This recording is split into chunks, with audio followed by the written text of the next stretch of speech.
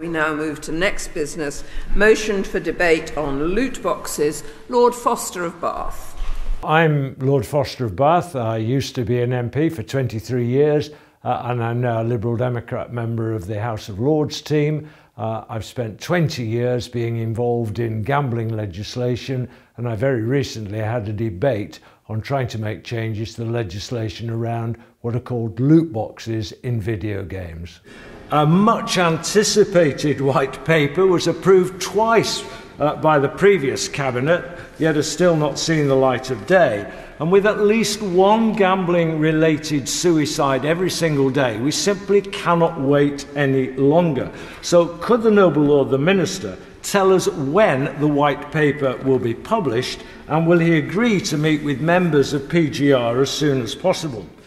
It was exactly as I expected. You have a new minister defending the government's response to the consultation on loot boxes, a consultation that showed overwhelming evidence that there is a very clear direct link between loot boxes and gambling harm. But the government response said they were going to take no action themselves, they were going to hope that the industry would do something more and that they would uh, try and encourage more research into the issue, but they were going to take no action themselves. New minister wasn't going to say anything to change that. The important thing was the conversation was now had with a number of peers from an organisation I chair called Peers for Gambling Reform, 150 peers from all sides of the House that want to see action in this and other areas putting pressure, joining in the debate, and then obviously, much more importantly, the conversations that will take place behind the scenes, which the Minister has now promised he'll have.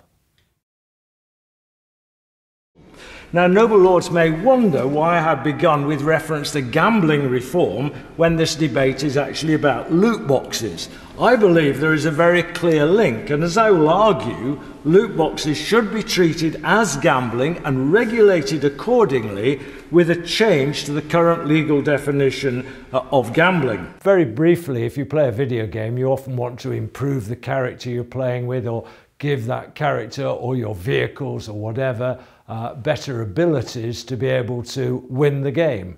Uh, and there are two ways basically of doing that through what are called in-game purchases. One, you can simply look up on a catalogue, you can have a better this, that or the other, and it tells you how much it is and you buy it. But the second way of doing it is by getting a loot box, which is basically a lucky dip. You pay so much for the loot box and you desperately hope that what you're looking for, your new character, your new vehicle, your new weapons, uh, is going to be contained in it. It may or may not be. So in my view, that is a game of chance. It should be regulated as gambling, but under the current definition of gambling, because there is no monetary prize, it doesn't get covered. And the debate was to try and persuade the government to move to do that.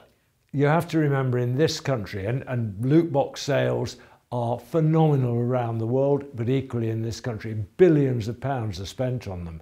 But in this country, we have something like 60,000 11 to 16 year old children who are deemed as gambling addicts and another 85,000 who are at risk of becoming so. And we also know that slightly older adolescents, the rate of gambling has increased very significantly. And so anything we can do to reduce that is very important. And we now know that there is a clear link between loot boxes and gambling harm.